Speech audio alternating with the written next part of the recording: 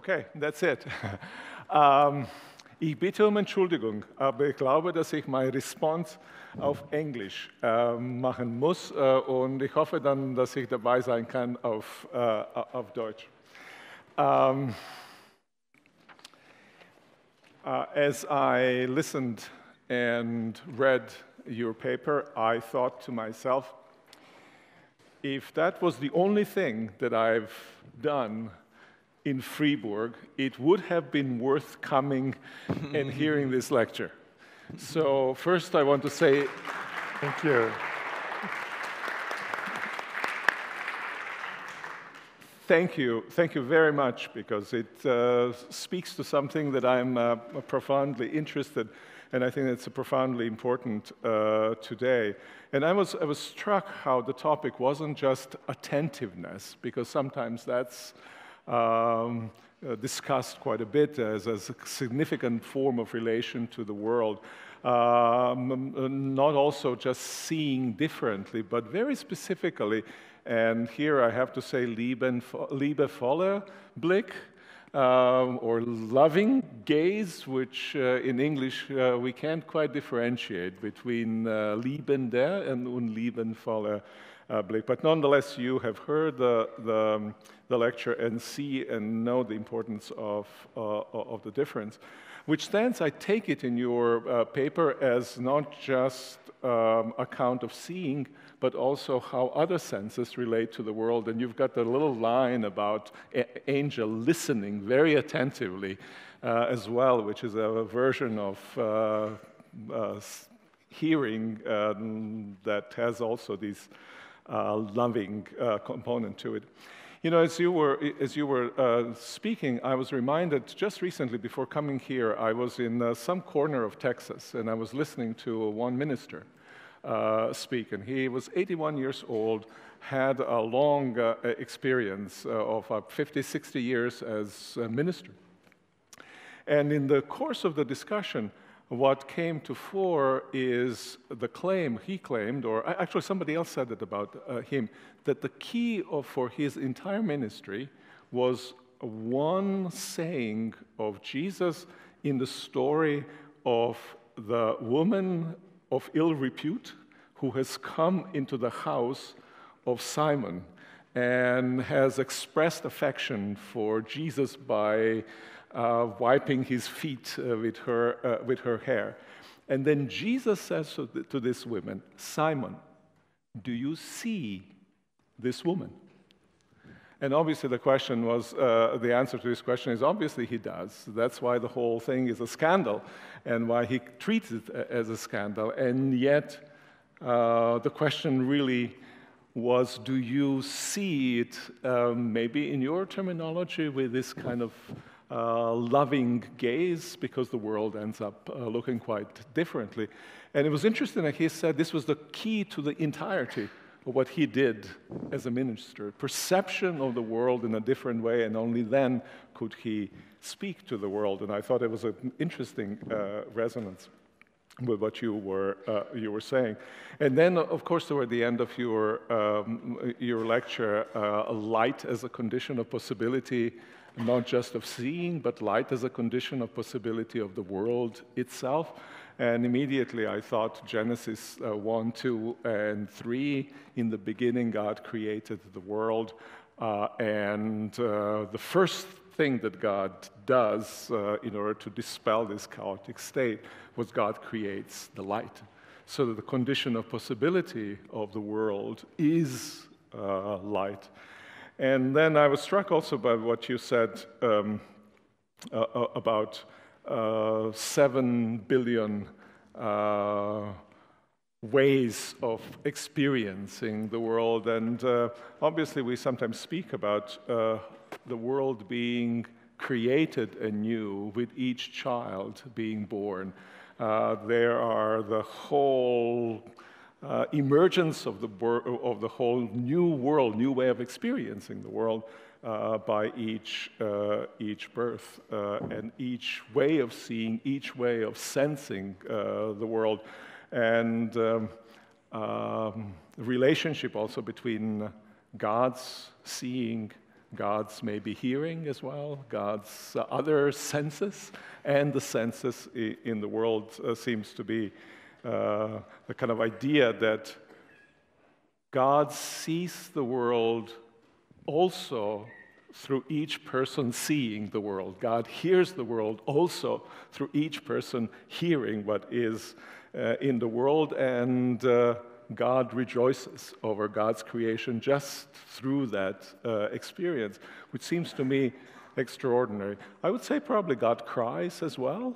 Uh, God is sorrowful for the same reason, but the idea of experiencing the world afresh is, was really uh, God's experience and our experience of the world was very uh, important to me. And finally, I want to say this is really a, a kind of um, visual sense aspect of how I think theologians ought to understand the idea of creation. When we say that the world was created, I think the fundamental meaning is that the world was given to us, that the world has a structure of a gift. And I think a structure of the gift is somebody gives something to somebody else. And somebody in this case is God. Um, gives to somebody else every of the creatures something, which is to say the entirety of the world. And I think the, if we practice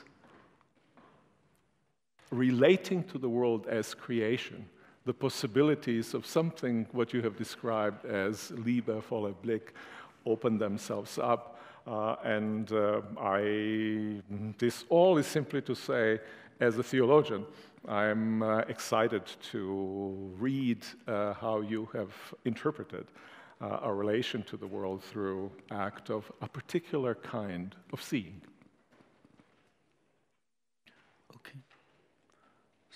Mache ich äh, vielleicht äh, gleich, äh, gleich weiter an der Stelle. Kann, äh, und vielleicht kann ich sogar da anschließen an etwas, was Sie äh, äh, gesagt haben. Äh, also ich habe den Text sehr, sehr, äh, sehr gerne. Ich habe ihn gelesen, muss ich, muss ich gestehen. Ich habe nur die letzte Viertelstunde gehört, die sehr äh, eindrücklich war. Aber ich hatte die Gelegenheit, auf dem Weg hierher den Text zu lesen und war fasziniert davon, muss ich wirklich sagen. Ich dachte eigentlich, der, liebevolle Blick am, Anfang, dass Sie das vermutlich auf den Blick vielleicht von Papst Franzis, Franziskus beziehen. Hat mich gewundert, dass es gar nicht vorkam. Vielleicht ist es heute Abend nochmal Thema, weil mir durchaus das so erschien, als, ähm, als könnte es da interessante Anknüpfungspunkte Punkte gehen, in, in der Art und Weise, wie der Papst äh, selber auch auf die Welt äh, zugeht. Ähm, und ich habe mich dann äh, gefragt, weil Miroslav das gerade gesagt hat, es gibt ja auch noch andere Sinne. Ich habe mich ein bisschen gewundert, weil, warum das Hören gar keine Rolle spielt, weil ich ja weiß, dass Sie auch ein großer Musikliebhaber sind spielt, und Musik in Ihren spielt. Filmen. Es ist da. Nochmal? Es ist da, Hören. Ja, also das hat mich nämlich auf eine Idee gebracht, ja, äh, bei der ich sehr gespannt bin, was Sie, was Sie davon halten. Eigentlich möchte, würde ich den Vorschlag mal machen wollen, dass das, was Sie da geschrieben haben, eigentlich so etwas wie eine Akustik des Sehens ist. Oder also ich weiß nicht, ob das ein guter Ausdruck ist, aber ich fand, weil ich nämlich in meinem eigenen Denken ja erstaunlicherweise, das habe ich gar nicht bewusst gemacht, aber ich habe, also Resonanz ist für mich ein zentrales Wort, mit der Welt in Resonanz treten. Und äh, es ist kein Zufall, dass das eine akustische, hm, eigentlich ein akustischer Vorgang ist und eben kein visueller, weil ich immer dachte, und, und vielleicht bis heute denke, dass in, in, in der visuellen Vorherrschaft, dass wir die, der Welt überwiegend visuell begegnen, sehen, lesen äh, sozusagen, dass da vielleicht ein Problem drin liegt, weil in diesem das, das Sehen sehr häufig ein distanzierendes ist. Das Sehen sozusagen stellt Abstände her, bringt Welt auf Distanz. Und das Hören bringt sie nahe, setzt uns auf eine andere Weise in eine dynamische, schwingende Beziehung. Und jetzt finde ich, was mir in Ihrem Text begegnet ist, ist plötzlich eine Sichtweise des Sehens, die eben genau die eigentlich ein resonantes Sehen ist. Also, also, ist, also was würden Sie von der Idee halten zu sagen, eigentlich beschreiben Sie ein hörendes Sehen? Weil auf, ich finde das, also irgendwie war ich verblüfft, äh, das zu sehen, äh, weil also auch in der, dieser, äh, dem, was Miroslav Wolf jetzt schon aufgegriffen hat, diese Differenzierung zwischen liebend und liebevoll, ist mir auch aufgefallen, habe ich auch darüber nachgedacht, das ist wirklich interessant, was ist denn da der Unterschied? Und meine, meine Deutung wäre, dass liebend ist eigentlich immer schon ein aktiver Vorgang. Ein Subjekt tut etwas, es bezieht sich auf eine bestimmte tätige äh, Weise auf die Welt, wohingegen, wohingegen liebevoll, liebevoll ja eigentlich eher, ich glaube, so beschreiben Sie es auch oder haben Sie es beschrieben, eine Haltung beschreibt, die dieses in Beziehung treten, der vielleicht, vielleicht generalisiert oder, oder öffnet oder möglich macht. Und ein Gedanke, der mir dabei kam, den ich, äh, den ich sozusagen auch sehr gerne mit Ihnen diskutieren will. Ähm, also ich versuche im Moment an, an, etwas zu arbeiten, ich nenne das Mediopassiv. Ich dachte eigentlich, das hätten mal wieder die Theologen erfunden, weil ich dauernd die Beobachtung mache, alle Sachen, die ich mir soziologisch ausdenke, hatten die Theologen zuerst. Aber also der Idee nach ist es wahrscheinlich so, es kommt de facto aber aus der Sprachwissenschaft, ein Medium äh, zwischen aktiv und passiv. Ne? Eine, eine Haltung, ein mit der Welt in Beziehung treten, das nicht einfach das aktive Zugreifen ist, also das sozusagen die Täterhaltung zur Welt, aber eben auch nicht einfach die Opferhaltung zur Welt, passiv, mir passiert etwas, sondern ein Mediopassiv. Zwischen mir und der Welt ereignet sich etwas. Und mir scheint, dass der, ihr, ihr ganzer Text immer wieder von solchen Momenten durchdrungen. Ist. Sie schreiben vom tätigen Sehen, was irgendwie bedeutet, ich, ich nehme die Welt wahr, passiv, sie strömt auf mich ein, in, in, in, der, der, Zug oder der Bus kommt dazwischen, aber gleichzeitig arbeite ich auch an ihr, sodass was sich da herstellt, diese äh, Wechselwirkung ist, und Sie haben das ja auch äh, in dem Film oder in dem, was Sie äh, äh, beschrieben haben über den ähm, äh, Film Der Himmel über Berlin, äh, finde ich, äh, äh, zum Ausdruck gebracht, dass Sie das Gefühl hatten, Sie sind nicht mehr der totale Täter sozusagen, also gerade nicht in der Kontrolle. Sie verfügen nicht über das, was da herauskommt, aber sie sind auch nicht einfach sozusagen die passiven Empfänger, sondern es ist ein Mediopassiv. Ist, ich meine, es gibt, wir haben nur noch, wir, haben, wir können es in der deutschen Sprache oder in der französischen und englischen Sprache nicht abbilden, aber in Sanskrit oder Altgriechisch gibt es dieses Medium, Mediopassiv. Es begab sich. Ne, und ich finde, ihre Welthaltung sozusagen scheint mir viel davon zu haben. Ja. Es, es, hat sich ereignet und es ist also nicht einfach ein passives, wo ich ohnmächtig dastehe, sondern eins, an dem ich beteiligt bin und durch dieses in Beziehung treten, das kann dann gelingen, wenn es liebevoll geschieht. Diese wechselseitige Zuwendung, die für mich heißt, ich bin bereit, mich berühren zu lassen von dem, was da in mich fällt, die Schattenspiele an der Wand ich antworte darauf, ich gestalte etwas damit und erreiche damit möglicherweise sogar eine transzendente Dimension. Also diese Art von äh, Wechselwirkung von Weltbeziehungen fand ich sehr interessant und ich habe die bisher immer als akustische Beziehung in erster Linie gedacht und, und, und äh, bin immer noch fasziniert davon, dass man das offensichtlich auch visuell herstellen kann. Und es ist wahrscheinlich kein Zufall, dass, es, ähm, dass so etwas Ihnen gelingt als ähm, Fotograf und Filmemacher. Mhm. Akustik des Sehens ist schon der Hammer, ne?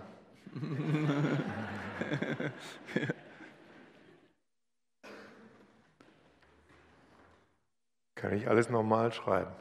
Nein, nur die Überschrift ändern. Man wird natürlich schon so geleitet, dass durch, also durch so einen Vorschlag, war so eine Art Vorschlag, das Thema der liebevolle Blick,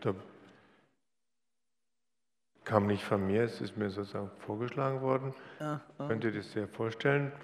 Und das konnte ich mir gut vorstellen.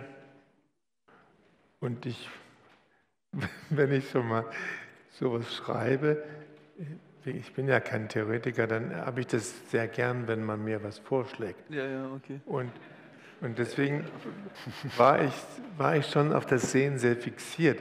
Aber ich muss sagen, auch beim Schreiben, kam mir manchmal das Hören in den Sinn. Ich habe es ja ein paar Mal damit reingenommen, so ein bisschen von, durch die Hintertür, weil natürlich ist das Ganze auch so zu sehen oder zu hören und man muss es auch reinnehmen. Das akustische Erlebnis ist ja, da, ist ja tatsächlich immer weniger aktiv als das, mhm. als das Sehen. Das Sehen, das aktive Sehen für mich war insofern, also als Regisseur oder Fotograf produziert man ja dann ein Bild oder viele Bilder, die dann zu einem Film werden. Und das ist natürlich ein sehr aktiver Vorgang, ja. wo man den, wie sagen Sie, mediopassiven Vorgang, ja. des sich Bilder schenken lassen, dann in, doch in einen aktiven umwandelt, weil so einen Film zu schneiden und zu konzipieren und dann herauszubringen, ist schon sehr aktiv. Mhm. Aber auf dem Weg dahin ist man nicht, eben nicht immer der Aktive, sondern auch durchaus einer, der etwas geschenkt bekommt und das sich beschenken lassen vom Sehen ähm, ist eine der wunderbaren Sachen, die einem passieren kann in meinem Beruf. Und deswegen war ich auch berührt, als ich, als Sie das von dem Pastor in Texas, Simon, siehst du diese Frau, das ist ja Sicher sieht er die, der ist ja da. Ne, aber er meint das Sehen eben, nimmst du die wahr, also ja, ja. siehst du, wer das ist. Mhm. Siehst du, was die tut, siehst du nicht, klar sieht er, der ist ja nicht blind, der Simon, aber, aber er hat sie nicht wahrgenommen. Er hat nicht wahrgenommen, was sie getan hat. Und das Sehen ist ja auch oft ein Respekt geben einer anderen Person, die sich dann gesehen weiß oder fühlt. Ne? Diese Frau hat sich von Jesus gesehen gefühlt, hm. aber nicht von all den anderen da. Im Gegenteil, denen war die eher unangenehm. Ja. Mich mal an. Ne? Die war, es war denen allen ein bisschen peinlich, dass sie das ja, ja. mit den Haaren und dem Öl. Und dann finde ich die Antwort auch ganz toll. Siehst du diese Frau? Christus hat ja die tollsten Begegnungen, die erzählt werden, sind ja immer mit Frauen, der, finde ich. Ein paar Mal in der Bibel sind die Begegnungen zwischen Christus und Frauen ja viel herzlicher und intensiver als die mit all den Männern. Mhm. Also der ist ja nur einer Frau gegenüber, dass er es einmal sagt, wer er ist, wirklich am Brunnen. Mhm. Niemandem sonst sagt er das. Er ist ja Frauen gegenüber unglaublich offen und damals geradezu rebellisch, weil auch das zu Simon zu sagen, siehst du die, ist eigentlich eine Unverschämtheit. Ja. Weil er sagt, sag mal, warum siehst du die nicht? Ja, genau. Ne? Oder Simon sagt zu, zu Jesus, äh, warum ja. lässt du Warum lässt du das lässt zu? Du das geschehen? Ja, bist du nicht an, an sich, bei. Trost? Das, siehst du nicht, was die da macht? Das, und dann sagt ja, du siehst sie gar nicht. Ja, ja. Hartmut, äh, äh, wie, wie, würdest du das, äh, das äh, sagen? Du, du, hast die, die, Struktur des Sehens, aktiv oder passiv, yeah. Äh, betont. Ähm, und es, es, mag sein, dass äh, die, die, die, Seite der, der, der, Passivität vielleicht nicht so, so, viel in der Vorgrund yeah. stand in dem Vortrag, aber ich finde, dass das Aktive, das ist, das ist die formale Struktur, aber im Vortrag, was ich gehört habe, ja. ist, dass diese formale Struktur äh, nicht genug. Das heißt, man konnte aktiv oder passiv sehen äh, und dennoch das nicht als ein liebendes, liebevoller Blick haben. Das heißt so, dass was in diesem Sehen geschieht, wird in einen in einem Rahmen der Einstellung zur Welt als Ganzen geschehen und nicht bloß, bloß formal aktiv oder passiv. Right? Etwas wird vom Subjekt an dieses Welt gebracht. Ja. Es wird als, als etwas gesehen. Ja. Und es ist nicht ähm, unwichtig, genau als was das gesehen wird. Das geht auch super auf Deutsch. Bitte? Das geht doch super auf Deutsch. ja, das stimmt. Das muss man erstmal hinkriegen. Auch das mit dem Hören, da ist dieses, das Hören sieht ja, sieht ja auf den ersten Blick passiver aus. Ja, ja, es ist auch aktiv. Ja. Ja, ja. Aber es gibt ja auch das Zusatzwort zuhören. Das ist ein aktiver Vorhang. Ja, absolut. Also ich glaube, dass wir Musik nicht wahrnehmen, also nicht als Musik hören können, wenn wir nicht auch aktiv die Verbindungen herstellen. Ich glaube, das hat man inzwischen ganz gut untersucht. Also Melodie hören funktioniert über also Retention und Protention. Man erinnert sich an die vorangegangenen Töne und erwartet die zukünftigen und nur dann wird es zur Musik erleben. Deshalb würde ich, das ist genau der Grund. Deshalb dachte ich, Musik ist ein, ein, ein, ein Paradebeispiel für ein mediopassives Weltverhältnis. Also und zwar finde ich sowieso schwierig, die Frage, wie man übrigens, Meister Eckhart und diese, diese Wendung, auf die, die du, du glaube ich, hinaus wolltest, ist irgendwie dafür auch ein gutes Beispiel, weil er ja, also in dem Zitat von Meister Eckhart heißt ja irgendwie, deine, also meine Augen sind Gottes Augen und umgekehrt. Und das Interessante daran ist, dass es eben nicht ein Wechselspiel von aktiv und passiv ist, sondern die Gleichzeitigkeit von aktiven und passiven Momenten, dass man es eigentlich gar nicht mehr genau sagen kann, wer sieht und wer gesehen wird und wer etwas tut tut und wem etwas angetan wird. Also es kommt mir wirklich genau auf, äh, äh, äh, darauf an und das stimmt schon. in dem, also jetzt in dem, also in dem, in, in, in dem Vortrag von Wim Wenders ähm, gibt es nicht nur diese Wechselwirkung jetzt zwischen dem, was ich sehe und, äh, und mir, sondern das wird dann nochmal in eine andere Wechselwirkung gestellt, nämlich mit dem Kaleidoskop an einer vielleicht transzendenten äh, Einheit oder so. Ich find, das finde ich insofern interessant, als man, als das in der Soziologie, sogar in der Physik gegenwärtig, glaube ich, gibt es einen großen Trend, die, die, eigentlich epistemologische und ontologische Fragen zusammenzubringen. Also äh, zu sagen, ähm, äh, das, was Wirklichkeit ist, was wirklich ist, davon handelt Ihr Text ja auch, das Wahrsehen sozusagen, die Wahrnehmung, ist eine Co-Konstruktion. Ja. Ja, die ist nicht einfach da, sondern es ist eine, eine wechselseitige Konstruktion, die dynamisch immer wieder entsteht. Und ich glaube, diesen Gedanken schien mir da in dem Vortrag gegen Ende auch ganz stark äh, zu sein. Die Wirklichkeit ist eine Co-Konstruktion zwischen den Bildern, die wir empfangen, den Blicken, die wir haben und den Bildern und Blicken, die wir produzieren und dann eine Art von Überblendung davon. Hm. Hm. Aber das wäre der Fall, auch wenn der Blick nicht liebevoll wäre. Wenn er nicht liebevoll wäre. Ja, ja das, so, das ja, wäre, das also, wäre das auch der Fall. Argument, das, ist die, äh, äh, äh, das ist die, die äh, allgemeine Struktur der, äh, der Perzeption. Ja.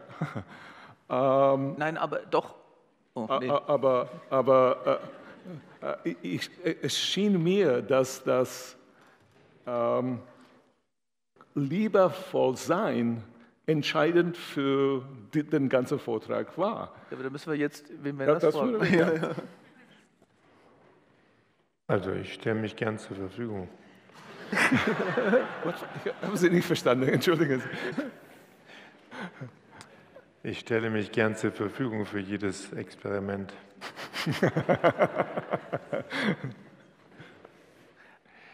Das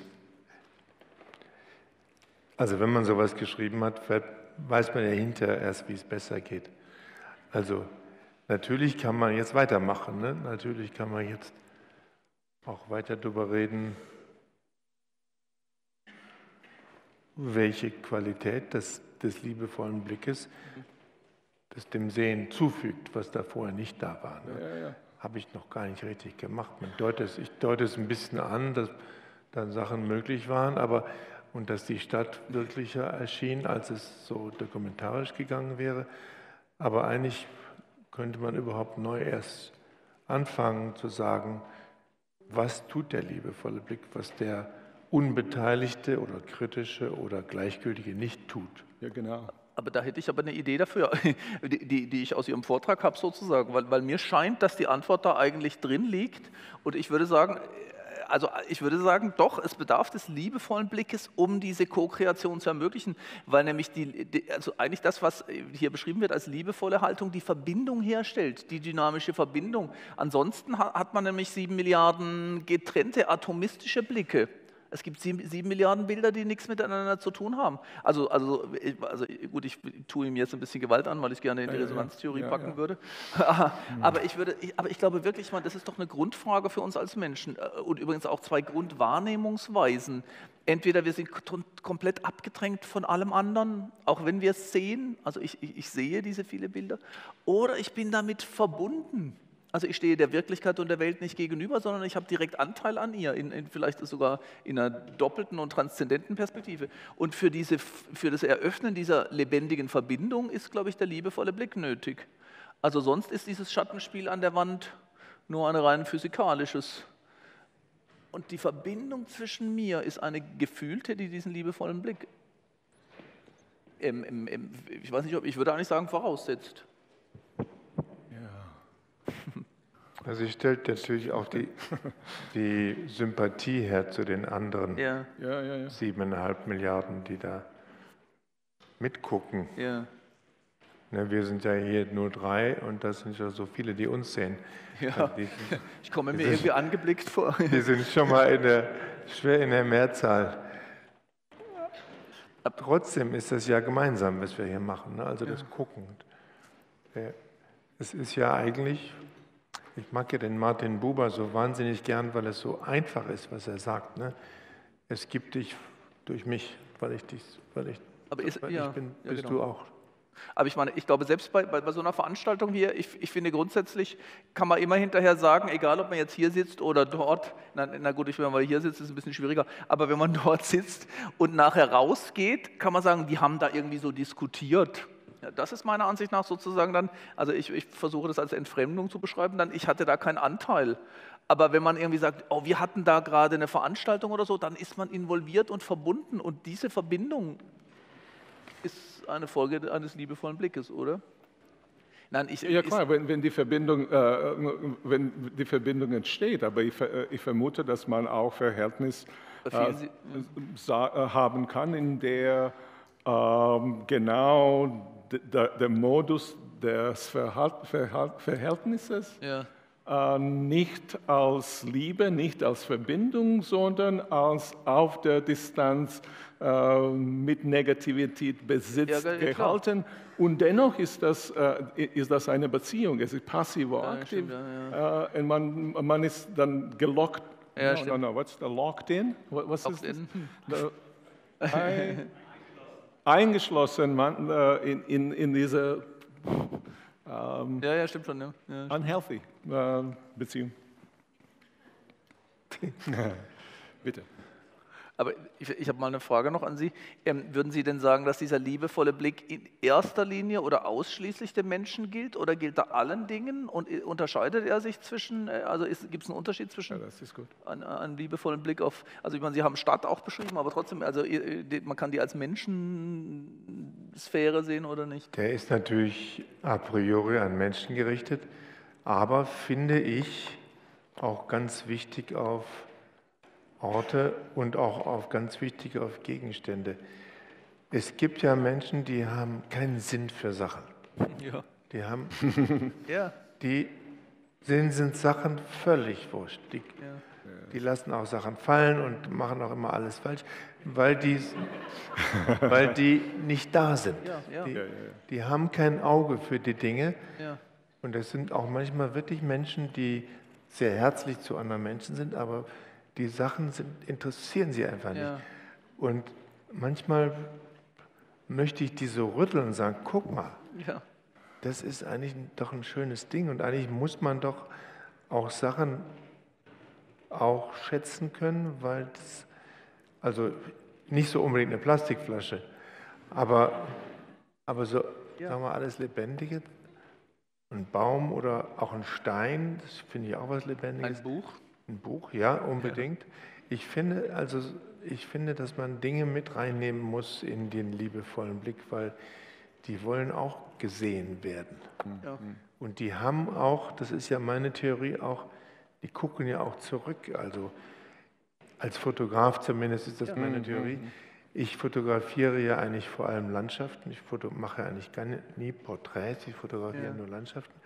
Und eigentlich interessieren mich, ich bin kein Naturfotograf, mich interessieren Landschaften und Orte vor allem deswegen, weil sie so viel von uns wissen und so viel zurückerzählen können über die Spuren, die wir hinterlassen haben und was wir alles an, überall angestellt haben. Deswegen fotografiere ich eigentlich Landschaften, weil ich das schätze und mag, was die zu erzählen haben. Mhm. Also insofern bin ich, bin ich immer etwas verletzt, wenn jemand kein Auge dafür hat, das finde ich immer ein bisschen schade. Ich fühle mich dann immer als Stellvertreter der, der Dinge. Dinge. Ja, ja schöne.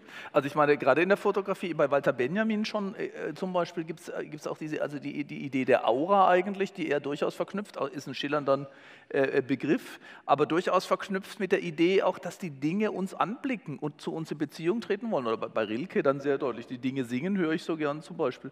Und deshalb glaube ich tatsächlich auch, diese liebevolle Haltung ist eine bestimmte Weise des in der Welt Seins, des mit der Welt in Kontakt mhm. und Beziehung zu treten. Natürlich auch Berge, die Sie ja da auch beschreiben und Bäume und alle anderen Dinge. Da hatte ich gerade ein richtiges Problem. Ja? Da hatte ich gerade ein richtiges Problem. Ich komme gerade aus China und war da vier Wochen und habe fotografiert. habe ich mir gedacht, dass ich da fotografieren würde. Nämlich so, wie ich immer fotografiere. Ich reise rum und dann mag ich was und dann warte ich, bis alle Leute weg sind, und dann fotografiere ich das. Mhm. Da war das Problem. Das ging nicht. da waren immer welche. Und meistens, wenn es ein schöner Ort war, wollten die genau dasselbe wie ich, die wollten es auch fotografieren. Und je mehr ich mich versucht habe zu vereinzeln, aber natürlich gibt es dann auch Sachen, die sind halt so schön und die waren überall schon da und wollten auch fotografieren. Und so dass meine Art von Fotografieren, also das mit dem Ort allein sein und sich was erzählen lassen, irgendwie bin ich voll aufgelaufen in China. Und dann habe ich aber die Kurve gekriegt, weil ich habe gedacht, hm, die wollen das nicht, die sind hier auch wie du, weil die das mögen. Und, und dann habe ich angefangen, die Menschen zum ersten Mal in meinem Leben, die Menschen zu fotografieren, die das fotografieren wollten, was ich fotografieren, fotografieren wollte. Und das war für mich ein ganz großes Erlebnis. Ich habe also alle meine Kollegen fotografiert und das waren Millionen. aber ich meine, aber, aber machen die wirklich das Gleiche? Also, weil, also das, das wollte ich Sie, oder das will ich Sie unbedingt auch fragen. Also meine eigene Erfahrung mit dem Fotografieren ist wirklich eine zwiespältige. Also ich habe es mal eine Zeit lang, also ich bin nur totaler, nicht mal Hobbyfotograf, aber inzwischen ist ja jeder irgendwie Fotograf mit seinem Handy. Ja. Und ich habe irgendwann beschlossen, ich mache es gar nicht mehr. Und dann habe ich wieder angefangen damit. Aber ich habe schon das Gefühl, dass eigentlich, und ich bin sicher, das ist bei Ihnen anders. Ich bin wirklich 100% sicher, aber ich würde es gerne beschrieben haben. Also bei mir würde ich wirklich sagen, in dem Moment, wo ich das, den Fotoapparat zücke, wo ich sogar die Perspektive auf ein Bild werfe, also im Sinne von, oh, ich könnte die Kerze fotografieren, ist der liebevolle Blick erloschen weil das ist ein verdinglichender Blick. Ich will das jetzt mit nach Hause tragen sozusagen. Ich, ich fixiere es ja eigentlich. Also, also ich, also ich finde das wirklich ganz schlimm, ehrlich gesagt. Ich bin großer Fan der Schweizer Alpen zum Beispiel. Eiger, Mönch und Jungfrau ähm, treibt mich in Ekstase.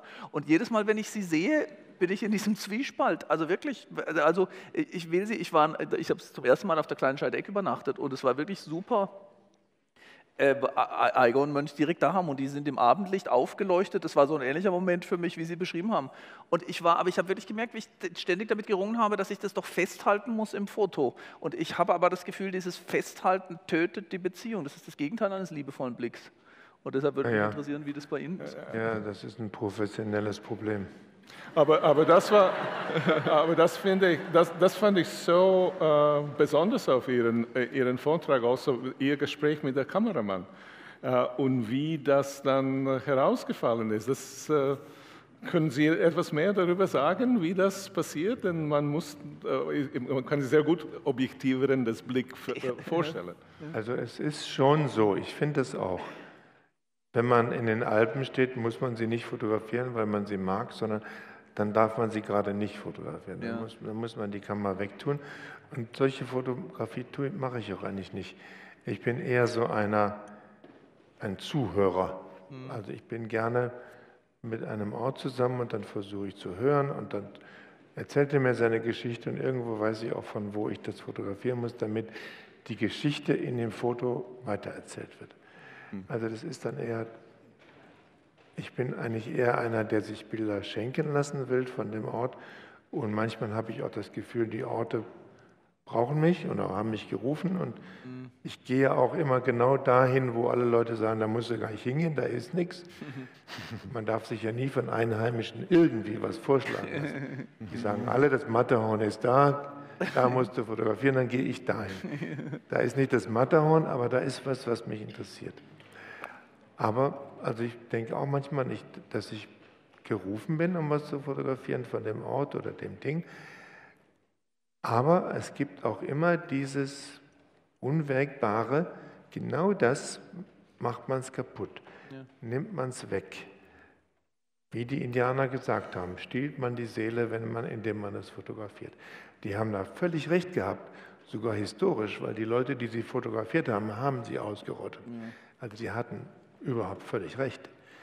Aber es ist natürlich ein immanentes Problem der Fotografie, dass man was wegnimmt und was stiehlt und, und deswegen ja auch, was der amerikanische Ausdruck sagt, shoot pictures, ist was dran. Es ist eine Jagd. To shoot pictures. Ah, ja, ja, ja. Also Bilder schießen. Shoot, ne? shoot pictures. Shoot, shoot picture, ist ja ein aggressiver Akt. Ne? Aber, trotz, aber Trotzdem gibt es auch das entgegennehmen und sich schenken lassen. Und das ist, gelingt einem nicht immer. Und manchmal ist man greedy und will es haben. Und dann wird das auch kein gutes Bild. Ja, ist interessant. Aber kann, kann man irgendwie, so, so genau wie Sie das beschreiben, äh, jetzt äh, eine Fotografie äh, als ein Sakrament verstehen?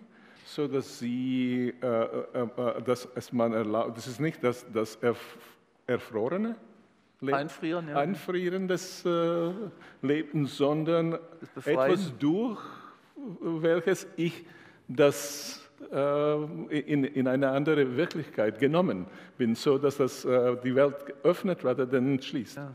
Ist das ist auf jeden Fall, auf jeden Fall eine immanente Möglichkeit der Fotografie, die Welt weiterzuerzählen und eben nicht freeze und eingefroren, okay. sondern weitererzählen und erhalten und, und, und mit Respekt etwas sozusagen übersetzen. Man ist ja oft als Fotograf der Übersetzer von dem, was da stattgefunden hatte. Und das Übersetzen ist ein anderer Akt als das Erschießen. Vielleicht eine Frage für, für, ja. äh, für, für Sie beide. No, was ist das Deutsch? Sie beide? Ist das richtig? Für Sie Unbedingt. Beide. Ja, ja, Euch beide. Euch beide? Sie, äh, euch be Beides okay. Sie beide. For you can say you. you can say you. I, won't. I won't say in you Texas can say you y'all. I will say for both of you. okay. Ja, ja Sie beide.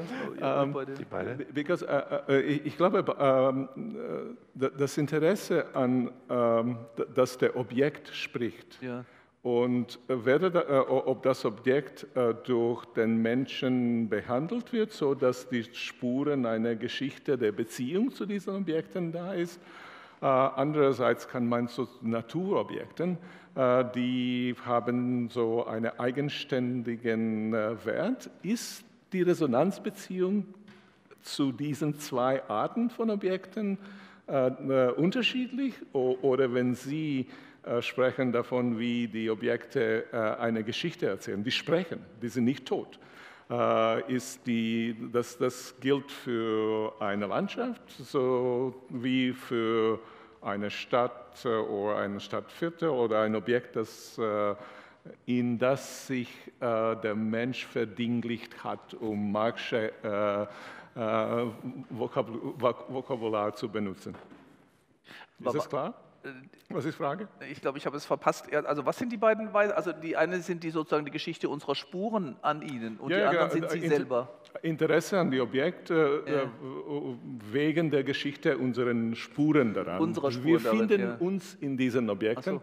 Äh, äh, und das als Unterschied zu den Objekten, die uns zu uns kommen als von woanders oder so? Ja. Äh, Gebirge oder was immer das ist. No, keine Spuren und sind interessant genau, weil da keine Spuren von uns da sind. Naja, trotzdem haben auch Landschaften oft Leidensgeschichten mit uns. Ah, ja. Und die Spuren entdeckt man auch nicht auf den ersten Blick, sondern nach einer Weile. Und, und dieser Geschichte zuzuhören, beinhaltet ja oft, dass man sich auch des Alters klar wird. Wenn man einen Baum fotografiert, sind oft die Chancen, dass der mehrere Generationen älter ist als ich selbst, groß.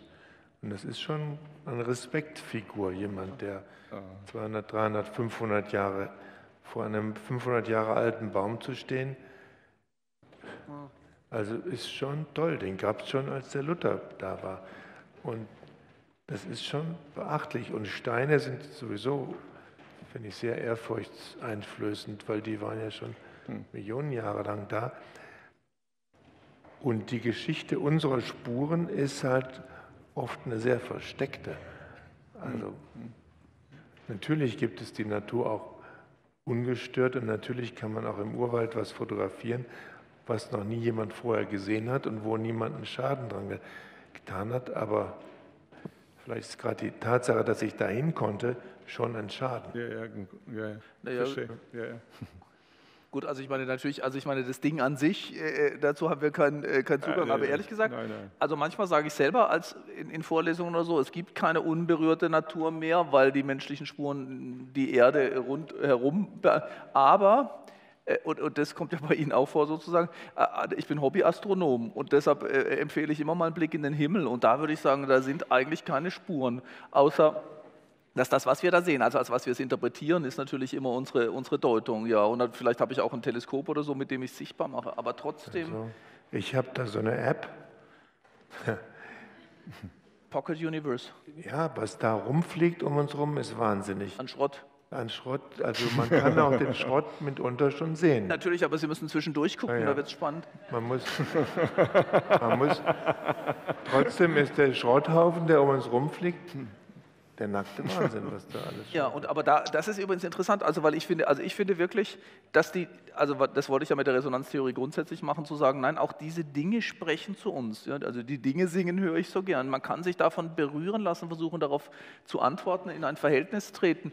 Äh, die, die Frage wäre jetzt wirklich, also ich finde, also wenn man wirklich durchs Teleskop guckt, zum Beispiel einen Kugelsternhaufen oder auch ein offenes, es gibt so schöne offene Sternhaufen oder gar irgendwelche Galaxien, wo man weiß, da ist das Licht nicht nur für acht äh, Sekunden oder Minuten ausgestrahlt worden, sondern für Milliarden von Jahren.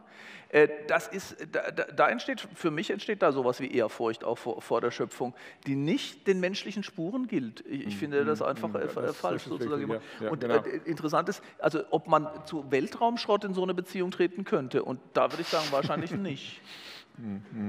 Obwohl, obwohl, ich meine, man könnte sagen, ich bewundere die menschliche Leistung das Weltall zugänglich zu machen oder so. Also vielleicht hängt es. Also könnten Sie liebevollen Blick auf Weltraumschrott werfen?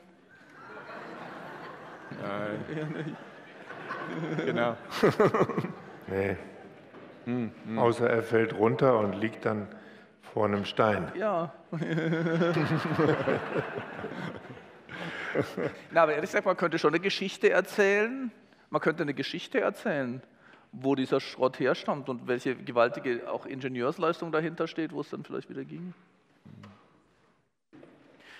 Mich würde noch, ich würde gerne nochmal zu der Ausgangsfrage, wenn, wenn ich darauf zurückkomme, äh, zu, zu, dem Verhältnis von dem akustischen und dem visuellen, weil vollständig überzeugt bin ich noch nicht, ähm, ob nicht dieser liebevolle Blick, also gerade auch in Ihren Filmen, der Akustikbedarf, also stellt sich diese Erfahrung, des, des, des, also, also auch in, Himmel über Berlin und in allen anderen Dingen, also ich würde nicht mal unbedingt sagen der Musik, also es gibt ja sehr eindrucksvolle Szenen oder Filme auch, ganze Filme, die große Stille zum Beispiel, ähm, äh, wo tatsächlich überhaupt keine Musik vorkommt, aber schon Akustik.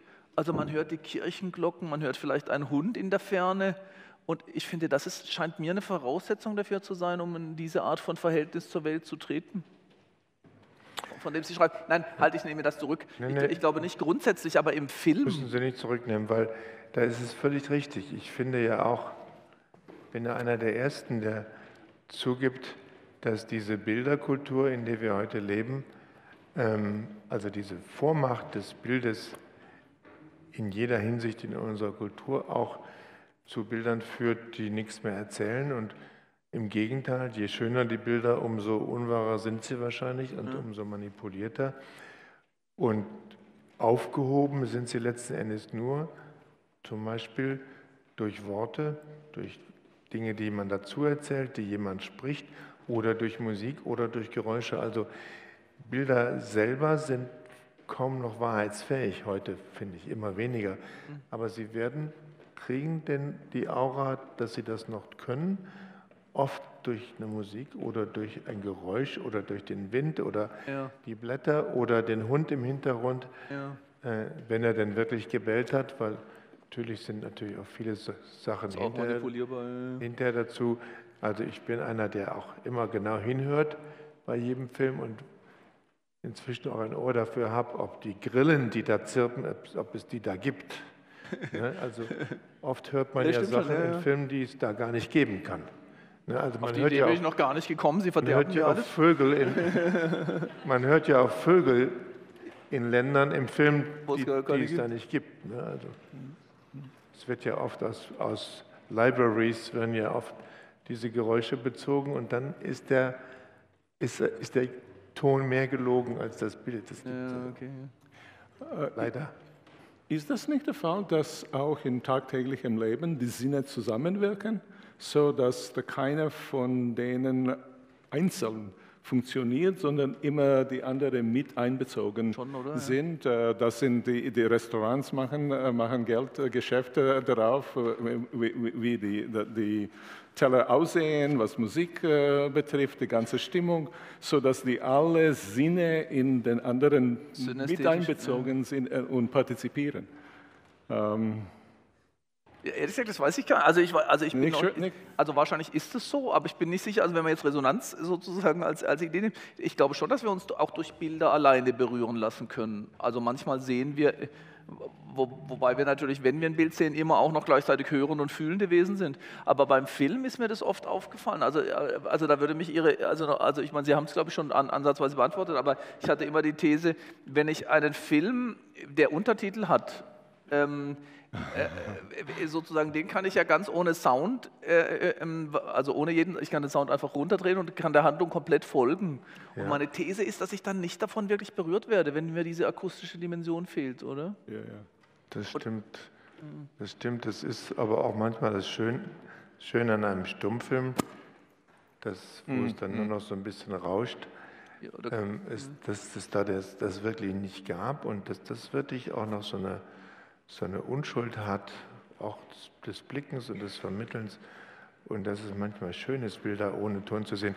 Ich würde mir auch den Restaurantführer wünschen, weil Sie es angesprochen haben, der einem Restaurant empfiehlt, wo keine Musik läuft. Hm, ja, ja. Also, also, also es ist manchmal, finde ich, schon erstaunlich, wie die Leute denken, dass sie einen so in was reinziehen und in Wirklichkeit ja. tut es das Gegenteil. Na, ich glaube. Aber ich bei Filmen ist das wahnsinnig schwierig, ähm, da dem Ton die, die Ehre zu geben, dass er dazugehört. Also bis, in die, bis, sagen wir mal, in die 60er Jahre gab es keine Kameras, mhm. die zuließen, dass man gleichzeitig Ton aufnehmen könnte. Also die ersten Dokumentarfilme, wo Ton direkt mit drin war, das mhm. kam erst in den 60er Jahren auf. Mhm. Bis dahin gab es keine Kameras, die geblimmt waren. Ja. Das heißt, alles war nach, nachvertont. Ja, okay, ja. Also jeder Dialog, jedes Geräusch war hinterher drauf gesetzt. Und, und dann kamen allmählich Kameras, die es erlaubten, dass man gleichzeitig Film auf, Ton aufnimmt. Und diese Filme werden ja dann irgendwann auch restauriert habe das selbst gemacht. Und dann kommt die Gretchenfrage, ich könnte ja jetzt Dolby Stereo viel schöneren Ton machen. Ja. Nämlich aus Libraries und so. Äh. Und das, die Grillen aus Südamerika und die Frösche von da holen, das klingt alles super. Also der Ton ist eigentlich, man nimmt ihn so immer als, als Wahrheitsträger, aber ist er überhaupt ist, nicht. Ist, ist, okay. Und das muss man dann auch glaube ich, manchmal, da muss man sich oft für etwas entscheiden, was weniger schön ist, aber irgendwo hingehört. Aber es ging, also es ging mir eigentlich gar nicht um Wahrheit, sondern um die Art der Beziehung, die ich dann zu der Szene oder den Figuren habe. Ja, aber da finde ich dann die, den Aspekt der Wahrheit schon wichtig. Ja, ja. Also, weil die Beziehung, die man herstellt, indem man was fabriziert, hm, hm. irgendwo ja. stimmt was nicht. Hm. Darf ich noch eine Frage stellen? Also würden Sie eigentlich sagen, dieser liebevolle Blick, also ich, ich glaube, vielleicht haben Sie es gesagt, aber ich will Sie noch mal fragen. Also wenn Sie an alle Ihre Filme denken, die ja, die ja äh, sehr zahlreich und, und, sehr, sehr unterschiedlich und auch sehr erfolgreich sind, würden Sie sagen, dass, dass nur die Filme gelingen oder dass die Filme nur dann gelingen, wenn Sie selber einen, also wenn Sie einen liebevollen Blick auf die Figur, also muss man die Figuren zum Beispiel, die, die Landschaften, die Handlungen, die Gegenstände lieben, damit es ein guter Film wird? In meinem Verständnis unbedingt. Und ich kenne die Sachen von mir natürlich gut und ich weiß, welche Filme ich gemacht habe, wo ich, wo das nicht ganz so war und wo ich dann letzten Endes auch nur, ja, zum Beispiel der Film, wo, von dem ich erzähle am Schluss von meinem Vortrag, wo ich auch in Afrika gedreht habe und wo ich dann unglücklich hinterher war, weil es dann doch so oft Situationen war, wo ich das, was ich eigentlich mag, nicht tun konnte. Mhm. Und wo es dann um Leben und Tod ging, das überhaupt in die Kiste zu kriegen und dann tut es weh. Und also es gibt auch in Filmen eben nicht nur die mit dem liebevollen Blick, sondern auch, es gibt auch Filme, wo ein Großteil des, dieses Films dann aus einem panischen Blick entsteht mhm. oder aus einem gejagten oder aus einem gequälten, weil man irgendwie nicht mehr anders konnte, als das so zu, fertig zu machen. Und das ist natürlich oft ein Großteil des Kinos ist ein, ein Blick, der eigentlich mehr von seinen finanziellen Bedingungen mhm. produziert wurde, als von der Lust oder der liebevollen Beziehungen der Macher zu dem Ort. Das ist, oder den Personen. Das ist schon die Ausnahme, würde ich sagen. Und das ist erstaunlicherweise eigentlich eher eine europäische Tradition des europäischen Films als des internationalen Films, mhm. dem, dem seine Figuren doch meist eher egal sind und eher Produkte sind, als ja. dass da eine Beziehung, Liebesbeziehung ist. Okay, interessant. Hm. Hey. Vielleicht wäre das ein guter Punkt, um ähm, in die Zielrunde zu kommen. Äh, unsere Zeit ist schon vorbei, ist spannend, aber ähm, es gibt noch einige Dinge zu Wir tun. Wir sind abgedriftet, oder? Nein, äh, ich denke. aber wir haben ja noch Gelegenheit, morgen von den beiden Referenten noch mehr zu hören. Zum Schluss würde ich eigentlich gerne den Filmemacher Wim Wenders fragen, Gibt es Dinge, die nach diesem Gespräch mit einem Theologen, mit einem Soziologen, die hängen geblieben sind oder sozusagen ein Schlussstatement von Ihnen an diesem Gespräch und dann, wenn Sie das gemacht haben, würden wir, glaube ich, dann gerne mit einem herzlichen Applaus Ihnen allen danken dafür. Noch nicht jetzt.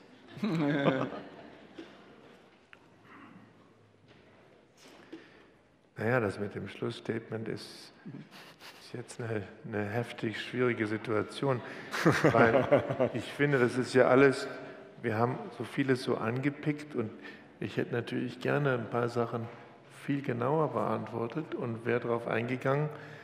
Und da sind ja provokante Momente auch gewesen, wo das auch auseinanderdriftet und man das dann analysieren muss, wo man das dann anders sieht. Ne? Oder wo die anderen Ansätze sind. Und das Schönste an so einem Gespräch sind ja, dass man merkt, dass jemand das anders sieht. Ne? Und nämlich von woanders das sieht. Jeder von uns denkt ja, das ist so mit dem Denken, man denkt ja immer das, was man denkt, ja so das einzig Richtige. Aber wenn man dann merkt, dass jemand anders anders denkt und viel richtiger denkt, boah, das ist eigentlich gut. Ich mag das gerne, weil ich bin kein Denker. Ein Seher.